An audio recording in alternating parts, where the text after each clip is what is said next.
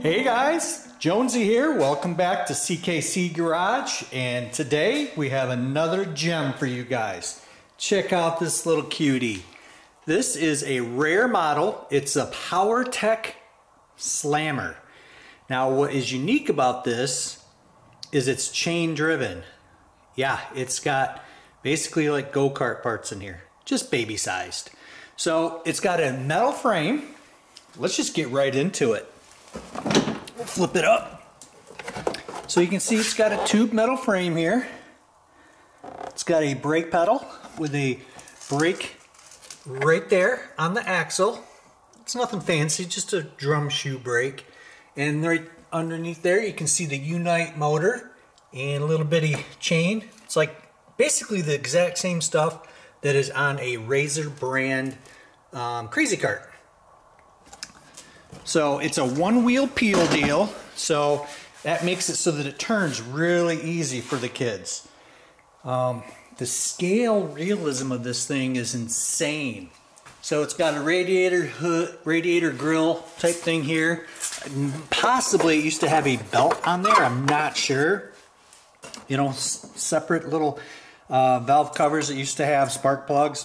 And it's a V8. Got some uh, zoomy headers there, hood scoop. So it's got the sound effects machine, but unfortunately this is not working. So it's got a on off switch here and you push this and it starts to rumble. And then it's got a horn and a, they say turbo, but it's not a turbo sound. So we did put fresh batteries in it. We tried to get it going.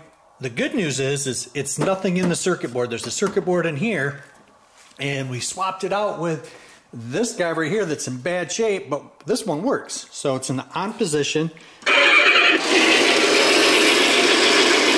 So you see how that see how that spins, and that's what makes it uh, rumble.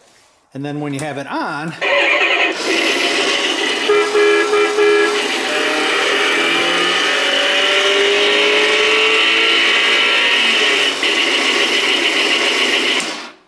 Hear that? That wasn't a turbo, that was an acceleration. But super cool. Um, we're gonna get her going again and get this out to some little kiddo.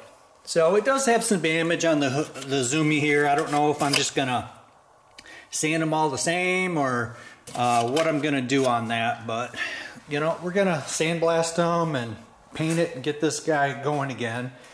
But if you guys see one of these I don't know how many went to the dump, but it makes me sad.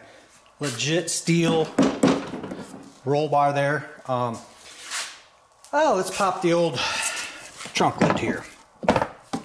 It's got a broken tab. We're going to have to fix that. Easy fix. Um, looks like it used to have an on-off switch here, so that turns it on and off. Um, this all works. So you plug in a battery, and they rewired it so that it's off of the starter switch. It's just a momentary starter switch. I do have a feeling that this is all like homemade, you know. The, sh the shifter probably went out and what they did is they just hooked up a contactor here that turns it on and off, but there is no reverse.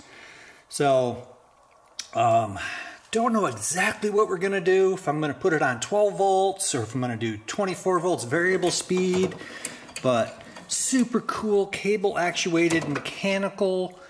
Just they just don't make them like this anymore guys. You aren't going to find something like this to be made today unless it's custom. But I'm going to get some pictures of this of before because I'm terrible at that. And we're going to go ahead and start getting this thing tore down stickers removed and we're going to paint it. What, what color should we paint this guys? Leave a comment down below. Let us know. What should we paint this thing? Black red yellow you know, it's a T-bucket. What do you guys want to see? Anyways, I just had to get a video of this for you guys because I don't. I like to find research on things that I'm building or what I'm looking for. If you guys see one of these, or at least put it on your um, search saved function, you know, on Facebook Marketplace, you go on there and you can click save.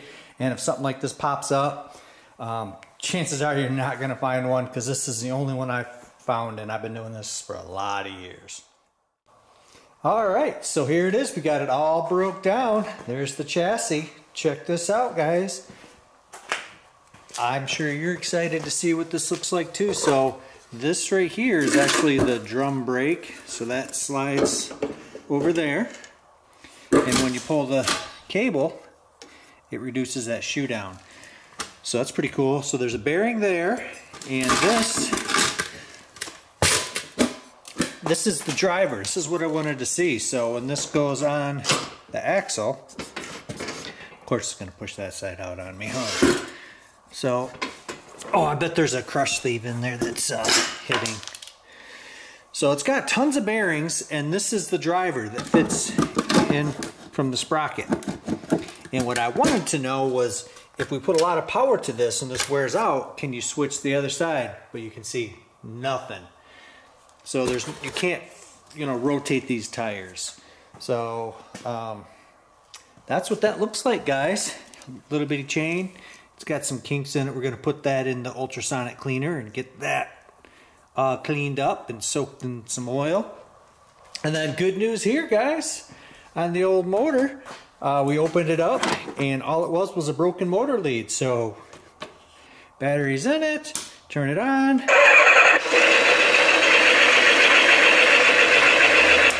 So yeah, we got a working motor. We just got to disassemble it and uh, get this all sandblasted, scuffed, painted.